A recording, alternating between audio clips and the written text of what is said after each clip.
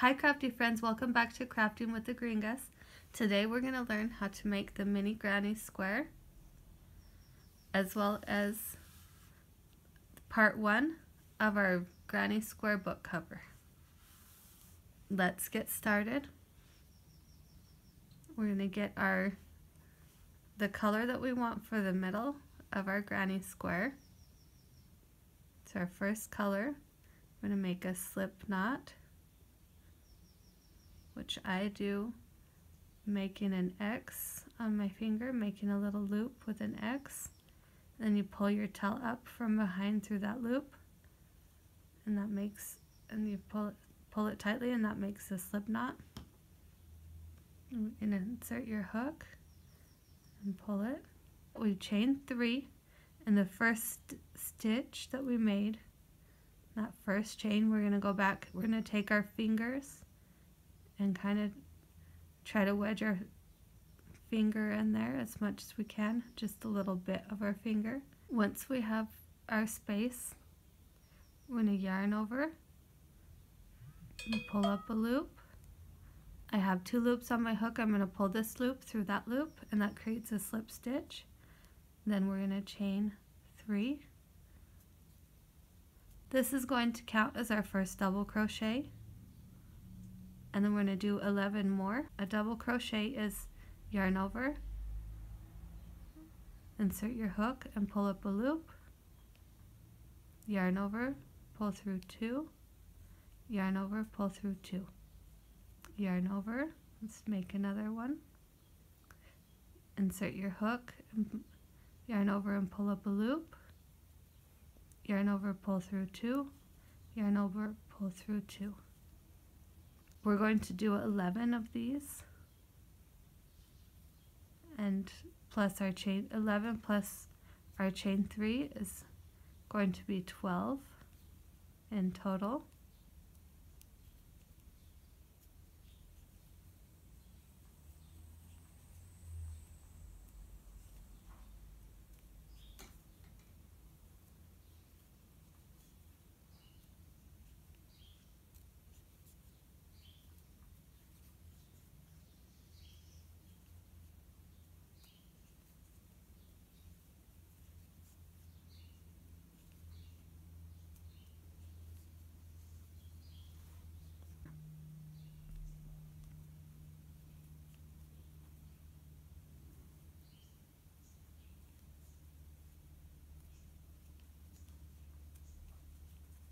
Okay, once you've got your 11 on there, we're going to find this chain 3 that we made at the first, and that we're not going to go into the first or the second, we're going to go into that third chain, grabbing two of the strands.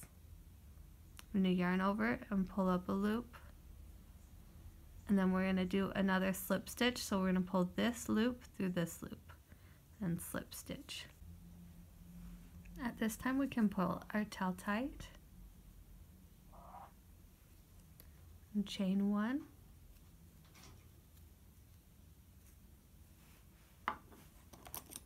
And cut your yarn.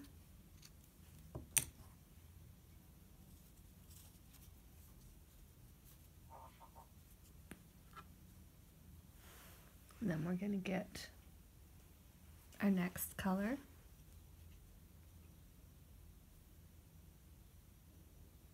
Make a slip knot.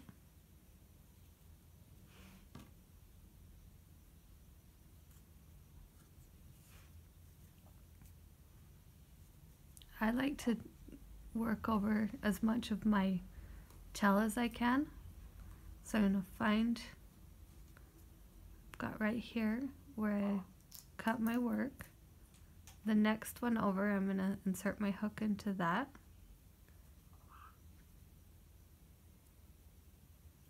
Okay. Insert your hook.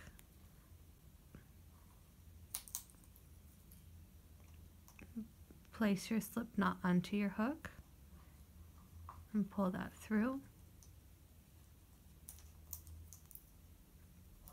Chain three.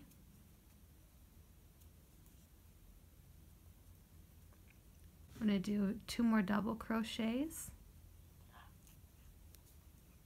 One. Two.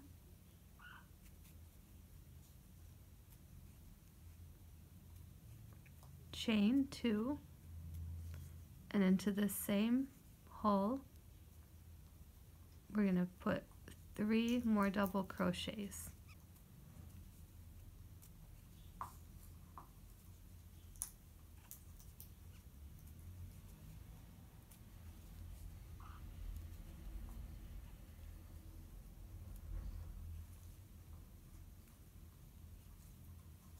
Okay, now we're going to count one, two, three, and insert our hook into in between the third and the fourth double crochet. So yarn over one, two, three, and insert your hook into that after that third double crochet.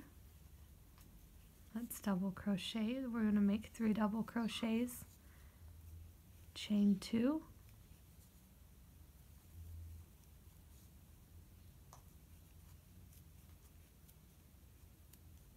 Three double crochets.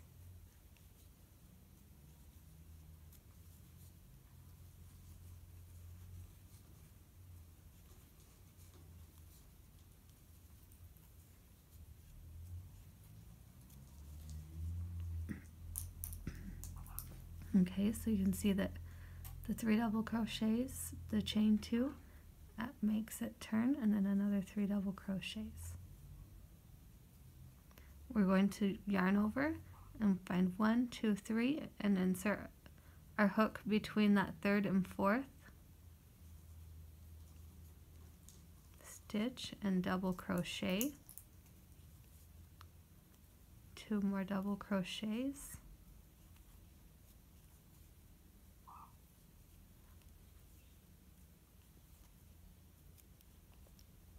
Chain two and then three more double crochets in into that same hole.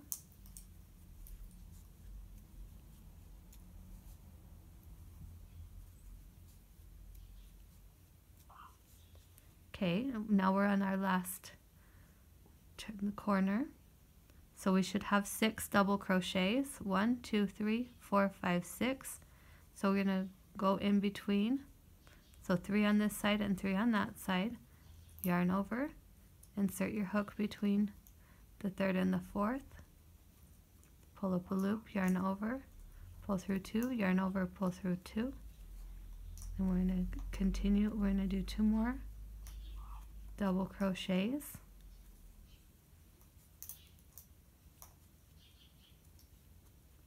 Chain two.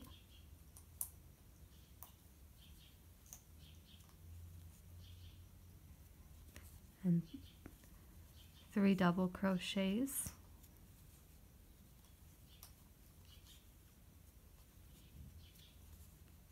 Okay and now we're going to see find where we did the, our chain three and on that third chain we're going to do a slip stitch into pull it tight and then we can fasten that off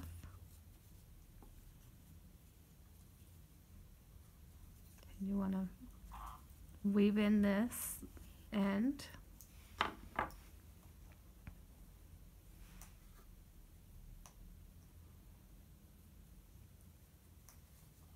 You're going to want to go back and forth a little bit so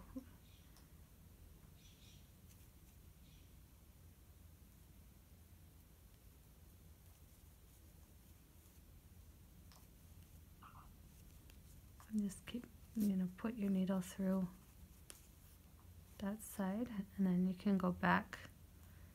Leave leave one little part of that strand and then go back.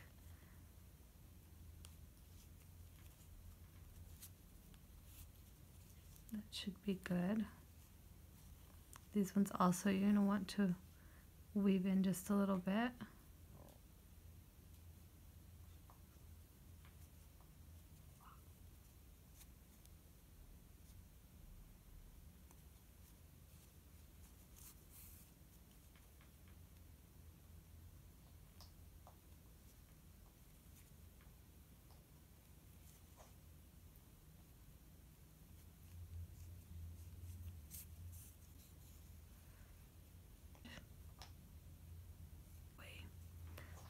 to weave it in beforehand just a little bit. That way it's a little bit easier to work with when we, get to the next step. We can just cut off our tails.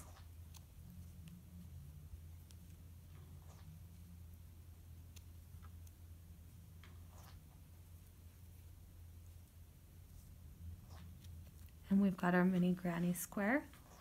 Now, what you're going to need to do is see for, for the next part, you're going to want to make enough granny squares that you can cover whatever book that you're planning to cover. Okay, so in my case, I've got a little Bible that I did three across and four down. For the binding, I did four and then another four down and three across on the back. So basically you just want to lay out your book and measure. You can measure onto a piece of paper or, or you can just go placing the granny squares on the top to see how many you need and how many you'll need for the side.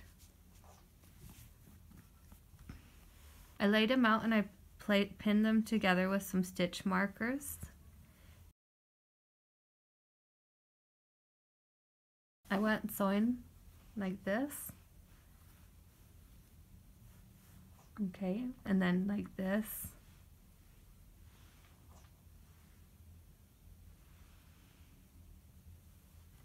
And right now I've got my last little part to sew together. I'm not really doing anything traditional, it's just what how I felt like stitching my granny squares together. There's a lot of fun, nice ways to do this. If you prefer a different method, I'm just grabbing both and doing going stitching back and forth.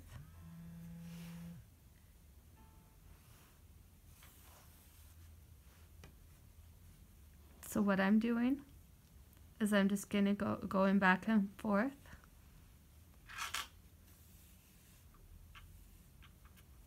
through the stitches.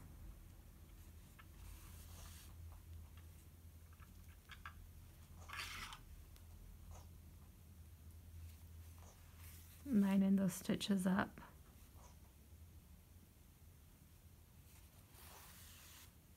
Here at the corners, I'm giving it a little bit of an, little extra love, so to speak, just to make sure. So I kind of cross it that way. And then kind of cross it back the other way.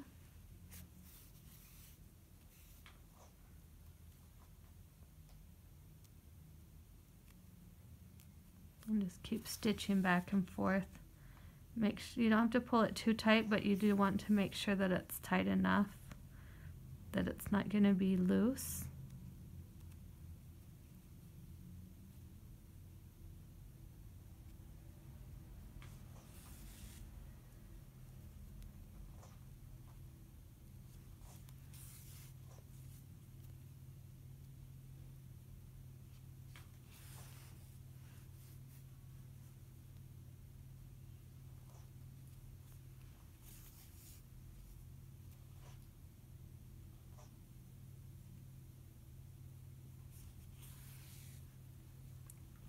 Okay, now I'm going to add my last, I'm going to add my last granny square. So I'm going to kind of place it in position.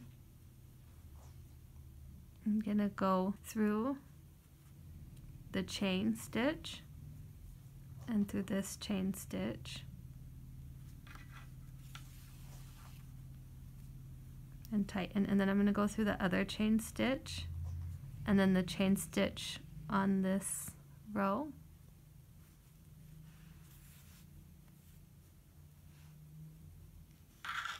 and then from this side I'm going to also go reinforce this joint okay and I'm just going to go back where we joined originally. And this time I'm going to go up over and then down under. And that's going to give it a little bit of stability and then I'm going to continue.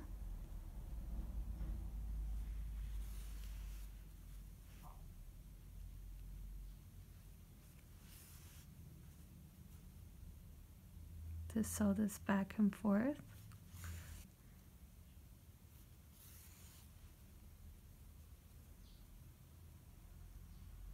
Okay, and then this this one you're also going to want to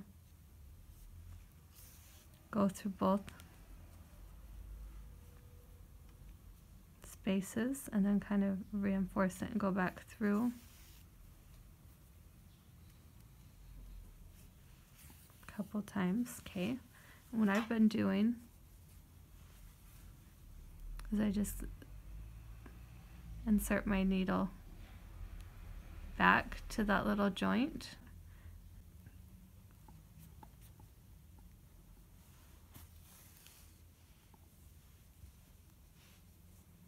Pass it over and then continue like put place those this side together.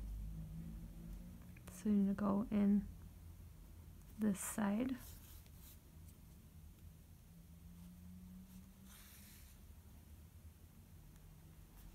And just keep going back and forth.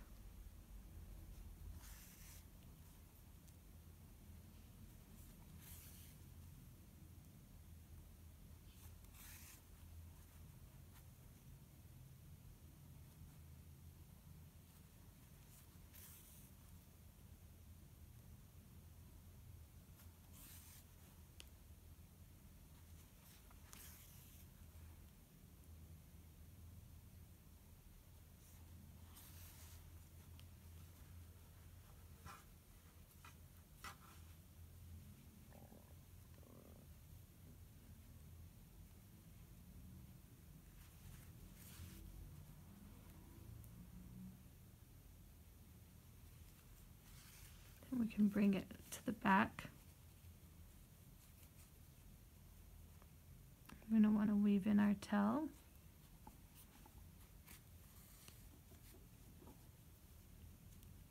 Make sure it's good and secure. We don't want that coming undone.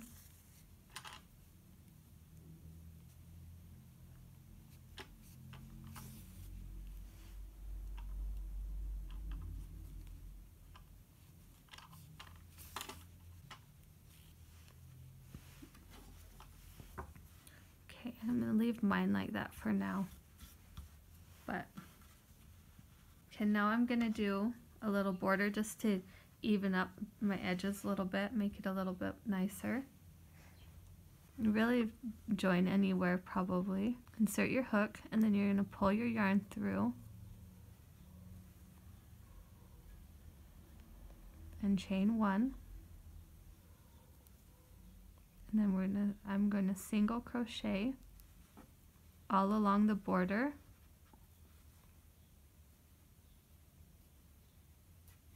A few of the stitches are going to be hard to get into, just just carefully go working up those stitches.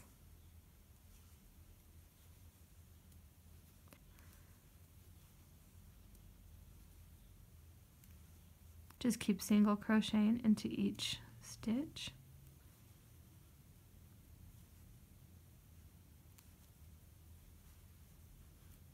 If you find that once you've get you've gotten your granny squares sewn together, because if you do use this method, I like how it looks because it gives it a little extra pop. But if you use this method, you do lo you lose a slight amount of the size of your granny square, so keep that in mind. If you need to, you could add an extra row of single crochets or even two just to give it the size it needs if it doesn't quite fit on your book once you've got it sewn together.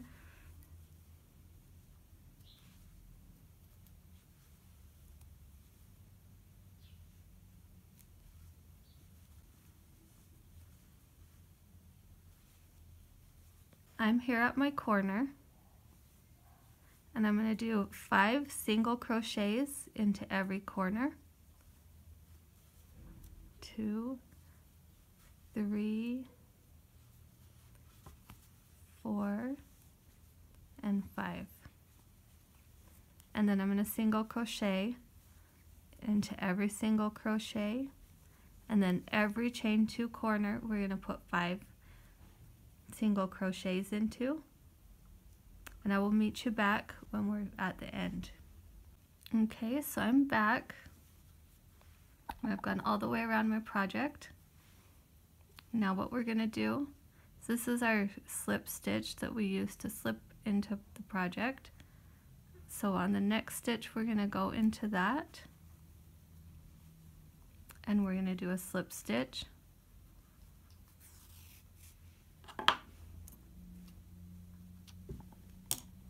We're going to take our needle.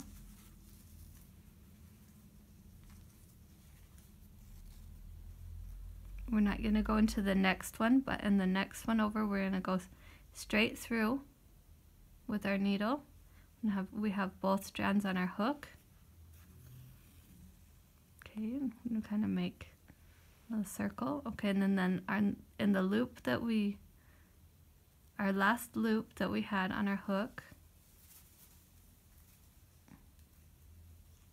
we're going to pull this through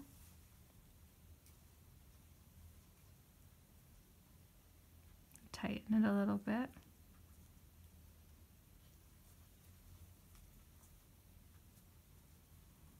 I'm going to move it around a little bit so it looks nice and we can weave in our ends. So uh, you get your ends woven in and everything and I will see you in the next video for part two. Bye.